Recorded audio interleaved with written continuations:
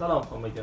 Bugungi mavzuyimiz ham ya'ni Xitoyga kelgandan keyin aynan nimalarga e'tibor berish kerak va ishni nimadan boshlash kerak degan mavzu haqida qisqacha rolik e, qilmoqchiman.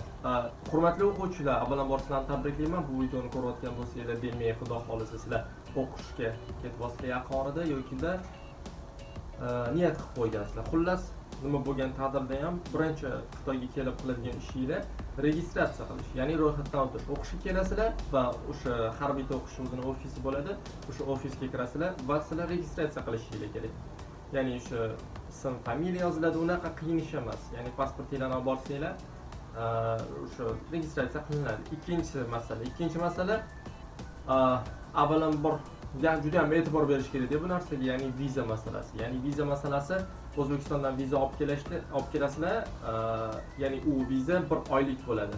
Ya'ni bir oylik deganim xitoyga kirishinglar bilan sana ketadi. Ya'ni xitoyga kirdinglarmi bo'ldi o'sha sanada bir oy muhlat davomida sizlar vizani cho'zdirishinglar kerak ya'ni vizani e, qanaqa cho'zdiriladi bu o'sha ofisga borsanglar ofis sizlarga yo'l yo'ri ko'rsatadi. Ya'ni qanaqa aynan hujjatlar to'plashinglar kerak va qayerga borishinglar kerak ayniqsa juda ham katta e'tibor beriladi chunki agarda bir kun kechiksa besh yuz yuan jarima to'lanadi. Ya'ni mana yaqinda bitta o'rtog'imiz xayolidan ko'tarilib ketgan vizasini cho'zdirish va yigirma kunga kechikkan bu degani endi o'n ming yuan sanab berdida. Shuning uchun endi to'lamasa yokida deport yuboradi yokida ma'lum bir e, muddat qamoq jazosi qo'llaniladi. Keyingisi bo'lsa ya'ni agarda sizlar o'sha o'zbekistondan siz xorij valyutasini yo bo'lmasa dollar olib kelgan bo'lsangiz ya'ni iloji boricha bankdan alishtiringlar. Bankdan alishtirishda hamchi mana bunaqa qilinglarda birinchi ofisga aytinglar qanaqa bank karta ochtirsa bo'ladi? Masalan har bitta ofis o'zi shartnomasi bo'ladi har xil banklar bilan. O'sha bankdan e, karta ochtirasizlar karta ochtirish ham bitta anaqa demoqchiman majburiyat. O'sha karta ochtirasizlarda undan keyin sizlarga dollar alishtiradi chunki bu yerda shunaqa ya'ni bankka borsanglar aynan shu pasportinglar bo'lishi kerak va o'sha aynan o'sha bankda sizlar ro'yxatdan o'tishinglar kerak. Endi bilmadim man shu holatga ko'p duch kelganman. O'shaning uchun ofisdan karta qanaqa aynan qaysi bankdan karta ochtirishni bilib olishinglar kerak? Va o'sha anaqaga borasizlar.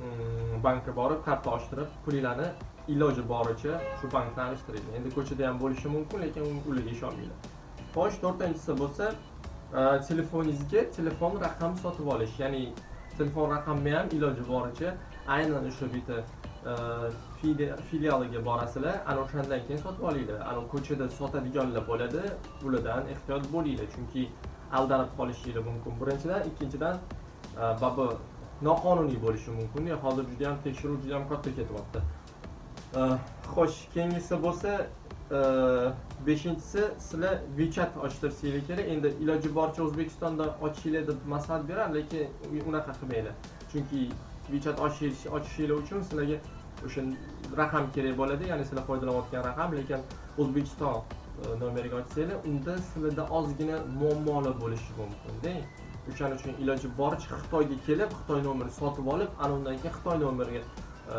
nomerga ochtiringlar o'sha wechat alipay taobao. Endi bu asosiylar demoqchimanda kelishinglar bilan shu ozgina ko'nikishinglar kerak shu narsalarga.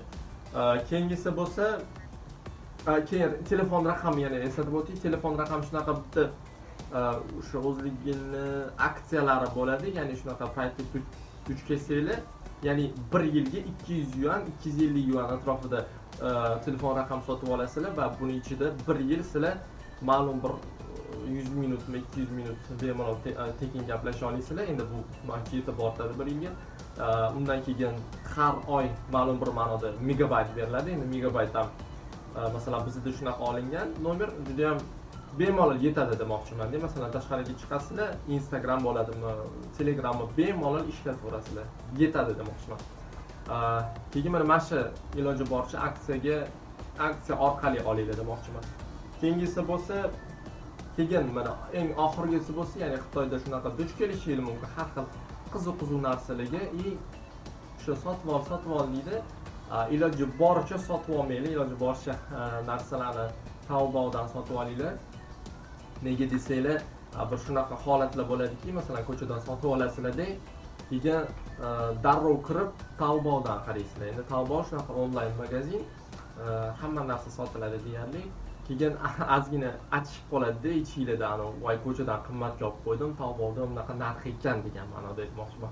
O'shaning uchun iloji boricha talbovdan olinglar mana mana shu narsalarga e'tibor beringlar. Xudo xohlasa bu endi sekin sekin tushunib olasizlar. Video yoqdi degan umiddaman. Xudo xohlasa keyingi videolarda ko'rishguncha omon bo'linglar.